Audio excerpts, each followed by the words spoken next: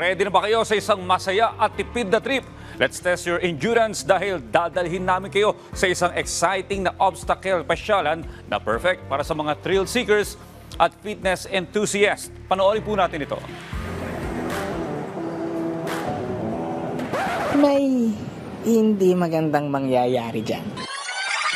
Pero bago natin ituloy yan, introhan muna natin dahil kung naghahanap ka ng thrill at escape sa nakakapagod na stress mo, baka gusto mo munang magpapawis at subukan ang endurance, flexibility, at pasensya mo sa pinakamalaking active tag arena sa Metro Manila.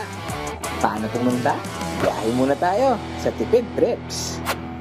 Nasa QC ka, LRT tayo mula Monumento hanggang EDSA Taft. 18 pesos lang yan. Mula sa Taft Avenue, jeep naman tayo papunta sa Pasay sa halagang 13 pesos.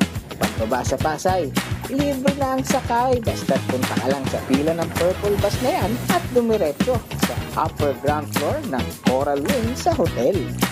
Enjoy mo lang muna ang walking at game na sa Tag Arena.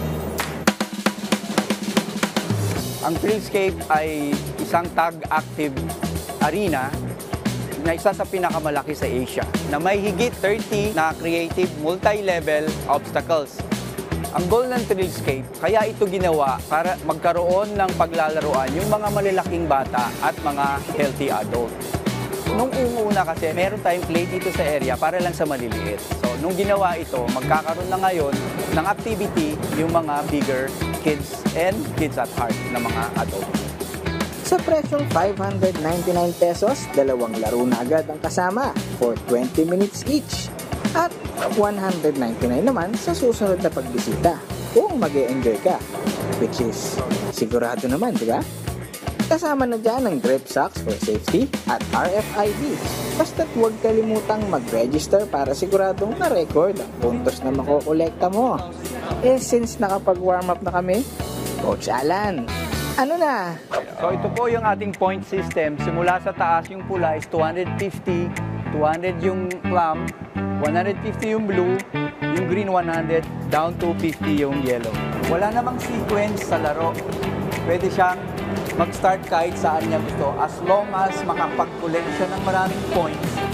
Kaya sulit ang papawis at siguradong matcha-challenge ang pagiging competitive mo sa mga obstacles tulad ng traverse wall, bike plunge, Roman pillar, magma jump, boiling point, island hop, at marami pang iba. Ang sakit ko. Lulusot lang din ako. Sandali lang daw, coach. Pati ang cameraman natin, napasabak. Basta, collect nyo lang lahat ng ilaw para yung points nyo nagdadagdag. So aside sa mga obstacles na nadaanan natin kanina, meron pa tayong web maze climb, meron tayong rope jungle.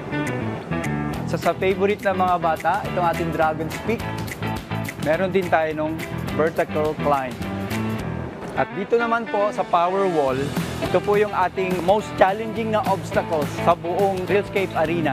Dito po ang challenger dapat ay bumuelo dito, simula sa wall para maabot yung pinakamataas na light. So imagine mo pag na-swipe mo lahat yan, mataas kagad yung score mo. Kasi yung lima na ilaw na yan, pag na-swipe ng RFID mo, score mo lahat yan. So, ito na nga yung nangyari. Yan tuloy direct. Siguraduhin na no accessories at naka-workout at tayo sa pagpunta para iwas disgrasya.